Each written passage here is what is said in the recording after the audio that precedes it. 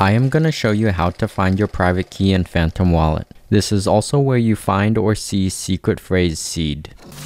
The first thing that you want to do is open up your browser containing the Phantom Wallet. I am using Google Chrome and my wallet is pinned to my extensions. If you don't have your wallet pinned, then you can simply go to Manage Extensions and then you should see the Phantom extension, which you can turn on by toggling the switch. Once this is turned on, you should see it when you click the little puzzle piece.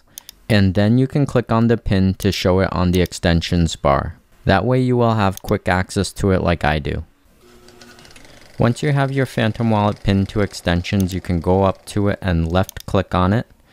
And then sign in if you need to. I'm already signed in. And you want to come up to the three line menu on the left and left click on it. And then look down for the little gear or wheel icon that is the settings. You want to left click on that. And then go to manage accounts and then select your account. And on this window, you can see your account name, your account addresses, and you also have the option to show secret phrase or show private key.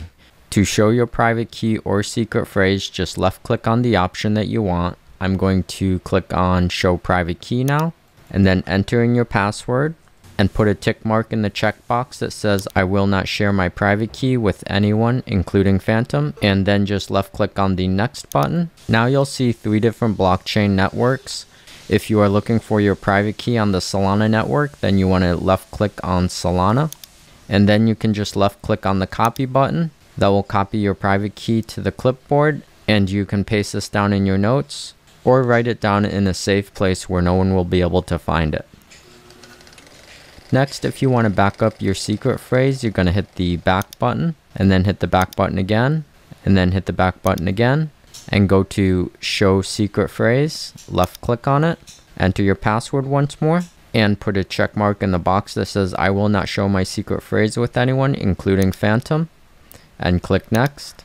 Here you have your secret recovery phrase when you write this down, make sure to write it down in the order that it shows here. So each word is numbered, which shows the order that the words should be in. So when you write this down, you want to write them down in the exact order that you see them here. If this video helped in any way, please consider giving this video a like and a subscribe so that more people can find this answer.